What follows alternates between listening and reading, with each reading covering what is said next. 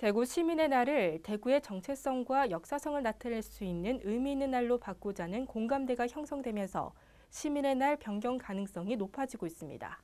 대구시의회 최길영 의원은 오는 11일 대구시의회 임시회 시정 질문을 통해 대구 시민의 날 변경을 공식적으로 제안할 예정입니다. 최 의원은 지난달 대구시의회 임시회 때도 5분 자유 발언을 통해 대구 시민의 날 변경을 제안했습니다. 현재 대구 시민의 날 변경안으로 거론되고 있는 날은 2월 28일과 7월 16일 등입니다. 최근엔 228 대구 학생의 거일인 2월 28일을 대구 시민의 날을 바꾸자며 요구하는 시민 모임도 만들어지면서 시민의 날 및 의미 재정립 분위기가 고조되고 있습니다.